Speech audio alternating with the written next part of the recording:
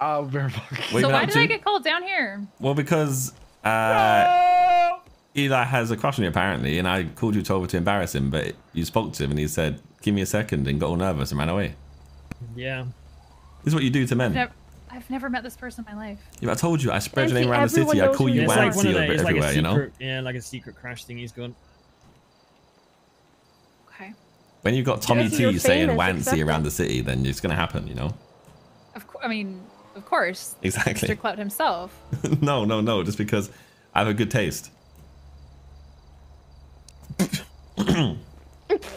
that sounds weird No way now. you just said that. No way you just said that, Tommy. Okay, bro. No fucking way. That's my leader. I stand by what my leader says. exactly.